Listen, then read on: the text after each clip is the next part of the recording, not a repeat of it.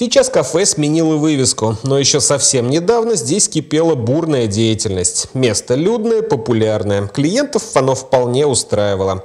Но, как оказалось, был у заведения свой маленький секрет, спрятанный на самом виду. Вот за этой газовой трубой.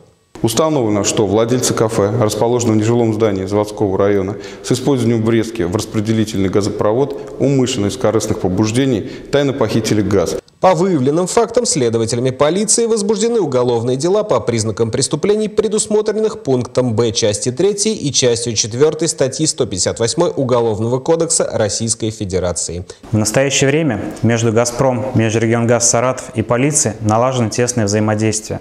Одним из ярких примеров совместной работы стало выявление данной незаконной врезки в газопровод.